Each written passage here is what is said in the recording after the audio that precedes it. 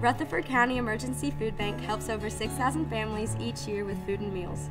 That's 20,000 people in our county that need you to donate to the food bank. So here's what we're asking you to do. From November 6th through November 10th, bring as many cans of food as possible to your CNI class. CNI classes with an average of 10 cans per student will receive donuts. CNI classes with an average of 30 cans per student will receive pizza. And if you'd like to bring cash, $1 equals 3 cans. The CNI class that averages the most cans per student will receive the Green Bean Trophy. Remember, share what you can. Focus on cans, not cans.